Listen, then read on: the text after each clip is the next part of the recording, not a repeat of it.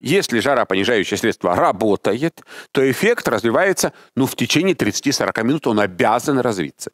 И если вы при высокой температуре используете жаропонижающее средство, и через 30-40 минут эффект не наступает, угу. это стопроцентное, однозначное показание к тому, чтобы обращаться за медицинской помощью, потому что в этой ситуации вы просто дома сами не справитесь. Надо срочно помогать ребенку, потому что угу. это опасно. Дорогие друзья, спасибо, что вы с нами и будьте всегда в курсе последних наших новостей. Подписывайтесь на наш канал в YouTube.